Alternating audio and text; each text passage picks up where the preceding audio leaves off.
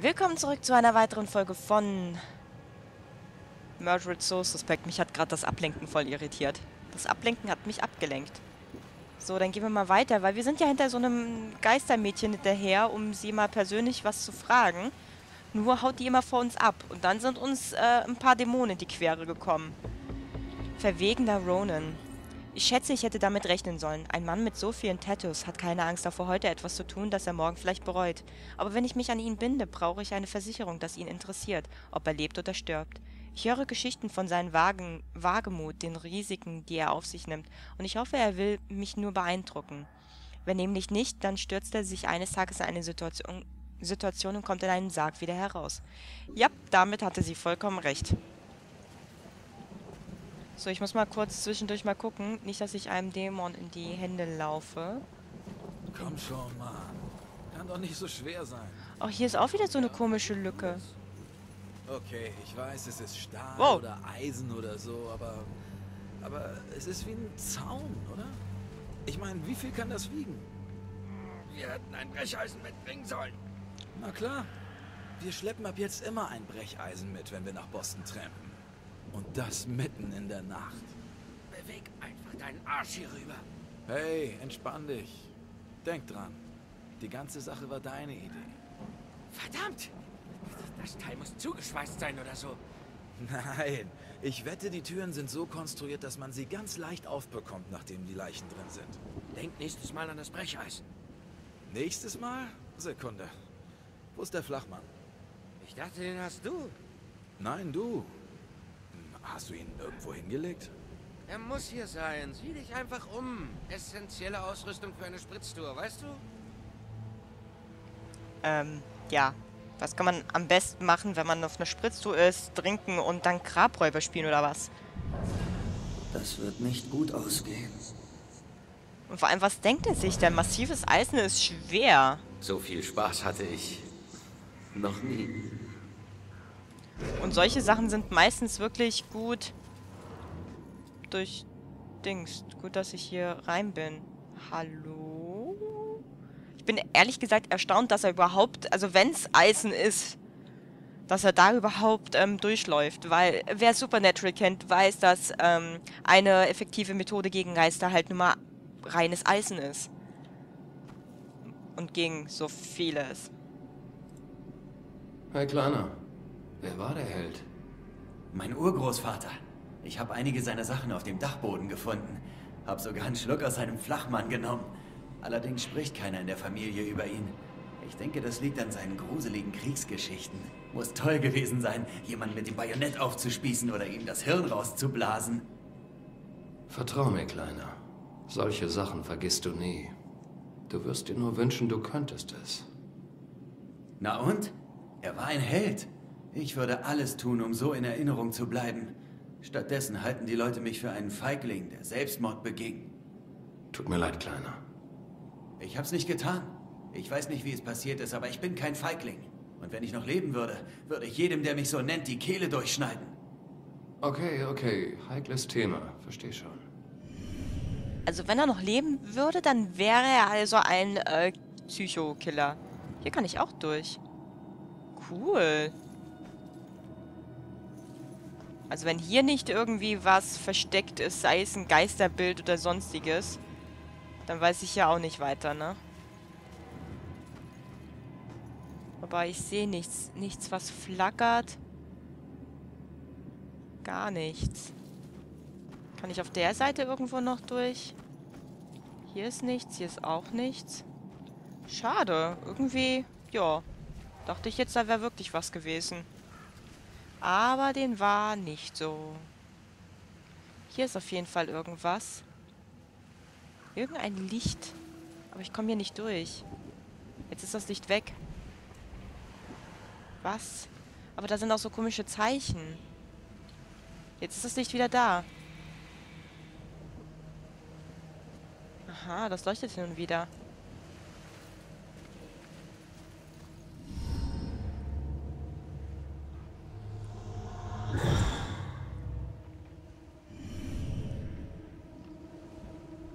Ich habe irgendwie das Gefühl, wir könnten ihre Fähigkeit vielleicht auch mal selber nutzen. Das wäre natürlich cool. Muss man nur sehen, wie es funktioniert. Das ist wieder ein Glockensymbol. Glockenmord-Graffiti ist vermutlich nicht das Werk des Mörders selbst. Gefahr des Kultstatus an Offizier in der Nachbarschaft weitergeleitet.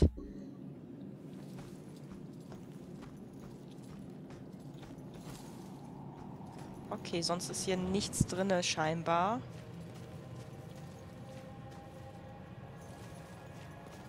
Oh, da ist wieder ein Geist. Aber Hauptsache keine Dämonen, ne? Das wäre doof. Ist das oben auch ein Geist? Ich glaube ja, ein Geist mit einer lebenden Person. Aber interessant, wo die Leute überall begraben worden sind. Ich mach mal, vielleicht kann ich helfen. Vielleicht kann ich helfen. Verdammt. Was stimmt nicht mit dem Ding? Was meinen Sie? Es scheint seine Funktion zu erfüllen. Es soll die Leute wissen lassen, wer ich war. Aber ich war nicht so. Nicht so dreckig. Ich war einflussreich und reich und sauber. Ich wusste, wie wichtig es ist, den Schein zu wahren, und deswegen genügt das hier nicht. Es muss besser aussehen als die anderen. Ich bin nicht wie diese Verrückten. Wenn Sie wüssten. ich bin nicht wie diese Verrückten, wenn Sie wüssten. Also äh, im Grunde genommen hält er sie für verrückt. Es ist aber auch irgendwie ein bisschen verständlich, oder? Im, selbst im Tode noch als Geist so penibel zu sein. Ach, hier sind sogar mehrere Lebende. Hallo? Oh, oh da liegt was. Ach, das ist ein Dings. Egal. Warum Ronan Kopf wurde. Ronan war heute ungewöhnlich philosophisch. Sonst sagt er solche Dinge nicht. Aber er sprach immer zu von Karma und wie er sich von seinen vor vergangenen Fehltritten reinwaschen müsse. Ich nehme an, er meint die Verbrechen in seiner Vergangenheit und deswegen muss er Kopf werden, um zu sühnen, sagt er. Es war der einzige Weg, den, ich, den er sah. War das vor oder nach den Prozessen? Oh, gute Frage. Haben das alle gehört? Ist der Mex Metzger oder ein Psychopath? gefragt, ob das vor oder nach den berühmten Prozessen war. Es ist tatsächlich einige Jahrzehnte zuvor passiert. Dieser Friedhof ist recht alt. Noch zwölf zum Aufdecken. Ein Haarkranz. Also okay. Davon gibt es scheinbar mehrere. Ich habe aber bis jetzt nur das eine gesehen. Es gibt hier so viel mehr als Hexen. Ja, aber dafür ist Salem bekannt, ne? Warum traten hier so viele Erkrankungen auf? Wegen der Hexen. So friedlich. Aber mit diesen Leuten sind furchtbare Dinge geschehen. So, dann reden wir mit ihm hier. Ähm. Hey Kumpel, hast du ein Problem? Könnte man so sagen. Ich war ein Metzger, bevor dieses Miststück Hummeln im Hintern bekam und rumschnüffelte. Leute kamen von weit her, um bei mir einzukaufen. Ich bekam mehr Auszeichnungen, als ich an der Wand aufhängen konnte. Dann verschwindet ihr kleiner Junge und auf einmal bin ich in der Todeszelle. Lass mich raten, du hast ihn umgebracht. Ich habe ihn nicht getötet. Ich habe nie einen von ihnen getötet. Das habe ich meinen Schweinen überlassen. Also wirst du sie für den Rest ihres Lebens heimsuchen und dann? Ganz einfach. Ich frage sie, wie ihr Sohn geschmeckt hat. Ist eine witzige Sache bei Schweinen. Du wärst überrascht, wie sehr ihr Futter ihren Geschmack beeinflusst. Hab gehört, da draußen gibt's einen besonderen Ort, der für Monster wie dich reserviert ist. Ja, da lag ich gar nicht mal so verkehrt mit Psychopath und Metzger, ne? Dies ist auch schon mal ein bisschen krass. Erinnert mich an eine Criminal Minds Geschichte. Da hat auch eine Frau ähm, ähm, Einbildung, dass sie so einen bestimmten Hautausschlag hat, weil ihre Tochter den, glaube ich, mal hat oder so. Auf jeden Fall hat sie Männer entführt, ähm, die dann irgendwie den... Sch nee, das war was anderes mit den Schweinen zum Fraß vorgeworfen, oder? Was ich nämlich denke, da war nämlich auch was mit Blumenerde und hat das zum Düngen benutzt und dann dachte sie, das würde ihr helfen, so naturmäßig und so. Aber ich, und die Reste vielleicht doch den Schwein zum Opfer geworfen, ich weiß es nicht genau. Aber schon krass, der Kerl. Bestimmt hieß der Junge auch noch Timmy, Timmy oder so. Das wäre so das typische, der typische Opfername. Aber da ist irgendwas. Ein Flachmann. Kann ich den nicht irgendwie mitnehmen? Ach, Mano. War da eben gerade noch irgendwas anderes? Außer das Verstecken? Ich habe Angst, ich falle hier gleich runter. Dann darf ich den ganzen Weg nochmal laufen. Nee, ist nur beides Verstecken, okay. So, einmal kurz umdrehen. Einfach nur damit ich nichts übersehe, was direkt neben mir oder hinter mir liegt oder so. Hatten wir schon oft. Gelbfieber-Gedenkplakette. Viele tapfere Arbeiter aus Salem, die den Panama-Kanal möglich machten, der den Welthandel veränderte, starben 1904 in dieser Einrichtung am gefürchteten Gelbfieber. Ja, hier war doch auch Quarantäne, auch für die Pestleute, hieß es doch. Dass die, ähm, die an Pest erkrankt sind, äh, im, auf dem Friedhof dann hier unter Quarantäne gesetzt worden sind. Warte mal, warte mal, warte mal.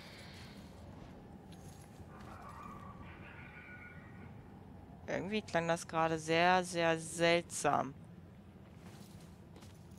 Aber da drüben war auf jeden Fall irgendwas, was ich wegmachen konnte, oder? Da war doch irgendwie...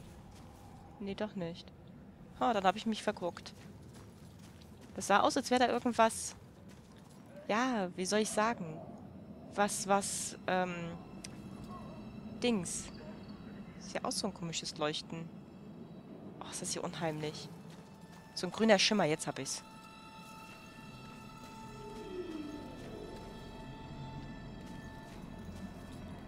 Ah, hier kann ich nicht durch. Sehr schön.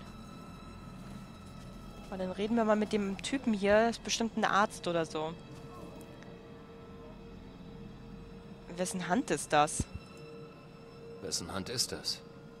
Ah, nun, das war nur ein Opfer im Namen der Wissenschaft. Ein Opfer aus Fleisch? Klingt mehr nach Voodoo als nach Wissenschaft. Manche mögen es so nennen, aber sie vergessen den Zweck der Wissenschaft. Die Welt um uns und die Kräfte, die sie beherrschen, zu verstehen. Nur weil die Forschung manchmal etwas unappetitlich sein mag, sollten wir uns nicht abwenden. Abgesehen davon habe ich jetzt viele Exemplare zum Arbeiten. Sie haben an diesen Leuten experimentiert? Die meisten sind ohnehin so gut wie tot. Ich rette, wen ich kann. Der Rest wird sinnvoll eingesetzt. Das waren Menschen, keine Versuchskaninchen. Ja, ja, wenn es Ihnen nichts ausmacht. Ich habe zu tun. Netter Kerl. Oh, wir können das Buch beobachten.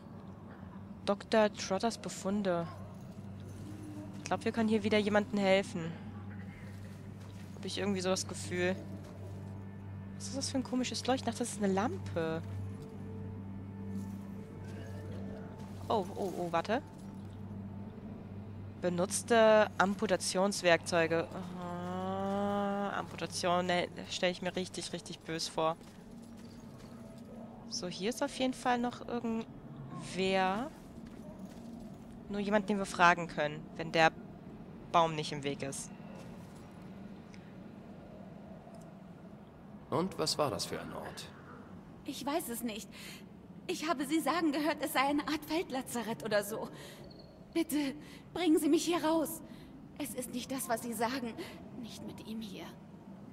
Äh, Dr. Trotter. ich verstehe nicht. Du meinst, das war kein Lazarett? Was war es dann? Ein Schlachthaus. Ich wünschte, ich könnte helfen. Das tue ich wirklich. Es tut mir leid. Ah, ja, okay. Der Typ, der ist ein, so ein verrückter Wissenschaftler mäßig. Ja, ich glaube, anders kann man es nicht bezeichnen. So. Na, Madame? Hey, ich bin auf deiner Seite. Ich will dir nur ein paar Fragen stellen.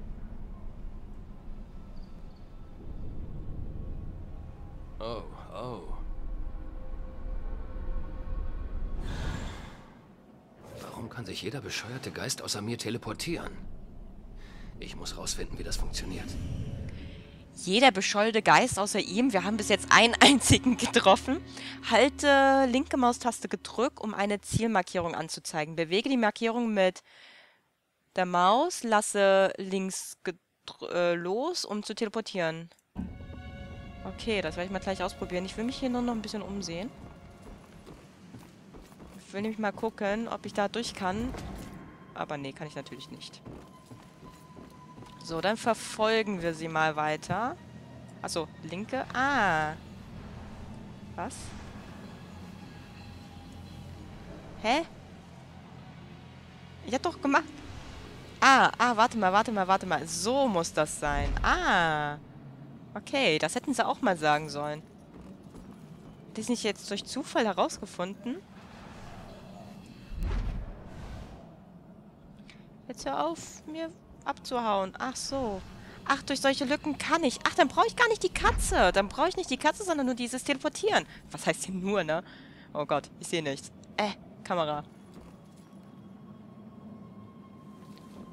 Dann kann ich, sobald ich hier raus bin,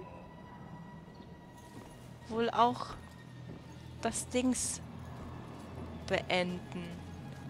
Die andere Geschichte mit diesen Kabinen. Ach, Kabinen. Ja, weil ich Kabinen gerade gesehen habe. Da kann ich auch irgendwie durch. Ich weiß gerade echt nicht, wo ich hier lang soll, ne? Deswegen gucke ich mich einfach mal um. Ich habe hab nicht mitbekommen, wo sie hin ist.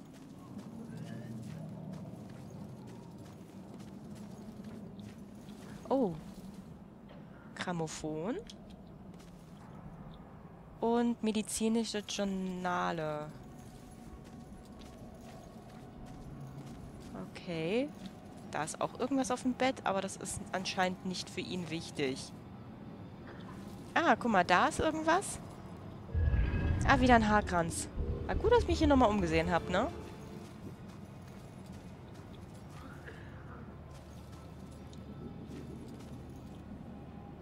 Fiebermittel.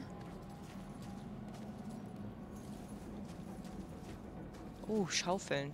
Sind die irgendwie wichtig? Da kann ich auf jeden Fall auch durch.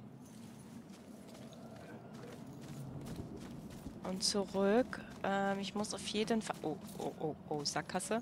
Wo ging es denn hier zurück? Ach, hier. Ähm, einerseits war ja oben, wollte ich mich noch umsehen. Andererseits ist hier ja auch noch irgendwie was. Aber ich gehe gerade mal nach oben. Und gucke mich da mal um. Ich weiß, wie gesagt, nicht, wo sie hin ist. Aber wenn ich die Möglichkeit habe, dann gucke ich einfach mal hier. Und da liegt sogar was zum Einsammeln. Neues Gerechtigkeitstattoo. Ein weiteres Tattoo auf seinem Rücken. Eine weitere Frau. Aber zum Glück eine abstrakte. Justitia mit der Waage, aber ohne die Augenbinde. Ich fragte, was sie bedeutet, und zum ersten Mal sagte er, er wolle nicht darüber reden. Ich kann nur annehmen, er hatte einen traumatischen Gerechtigkeit ist nicht blind Moment. Vielleicht öffnet er sich später. Aber sonst ist hier scheinbar nichts, ne? Und auch hier so weit oben sehe ich jetzt zumindest auch nichts. Dann gucke ich mich mal hier unten um. An der Stelle.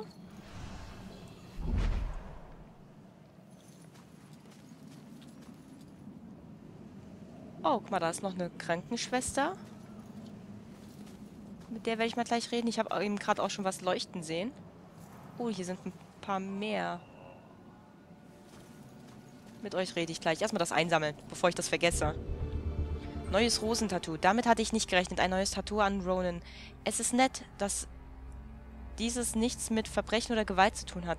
Es ist tatsächlich für mich oder für uns zwei verschlungene Rosen direkt über seinen, seinem Herzen. Ich schätze, er plant, dass unsere Beziehung ewig hält. Etwas verrückt, dass er es über das Tattoo seiner Eltern hat stechen lassen.